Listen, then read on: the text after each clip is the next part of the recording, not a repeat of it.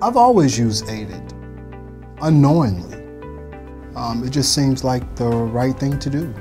A means to acknowledge your patient, which is very important. Um, to let your patient know who you are. I always greet them with a smile. Fiona, hi, how are you today? I is for introduction. I introduce myself. My name is Marvin Jones. I'm the senior orthopedic tech here, and I was instructed by the doctor to put a cast on your daughter.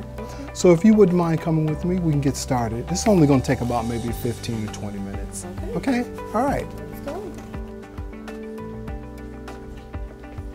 All right, let's have a seat on this bed. Won't you have a seat there? Great. And you can have a seat here. D is for duration. Always let your patient know how long it's going to be. They might have another appointment scheduled. Fiona, this is only going to take about maybe 15 or 20 minutes, okay? E is for explanation.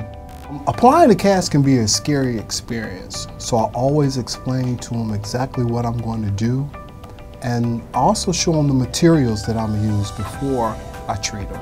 I give them some cast care information and I also give them a contact number so they can get in touch with me if they have any problems.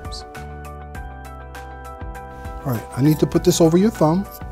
Okay, this is the cast. All right, so what I need you to do is I need you to hold your hand just like that for me, okay? What we're doing right now is we're doing a turn down to make this a nice looking cast for you.